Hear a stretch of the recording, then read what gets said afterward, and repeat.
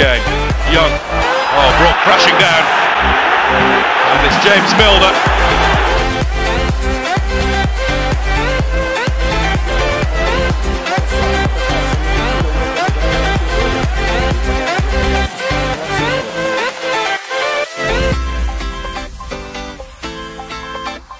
He's late on Mulgrew, Kyle Lafferty, who then goes down.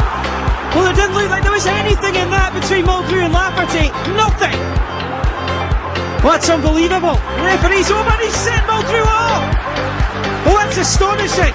That it's just it's just embarrassing because yeah you've got all these young children watching this and he's, he's got a responsibility to, to, to act in, in the correct Språng, ingen jättesmart filmning. Patetiskt. Det berättigar nästan till eh, en plats i Hollywood. Eh, Han får en, eh, faktiskt en tackling i första läget men eh, det kopplar väldigt sent.